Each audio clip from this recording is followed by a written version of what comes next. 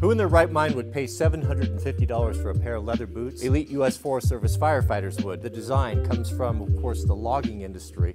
That heel uh, assists in the climbing when you're working in hot terrain by lessening that angle. Also in descending, coming down, it's a good stop and it, it catches and digs in. and helps you to come down so you're not always falling down.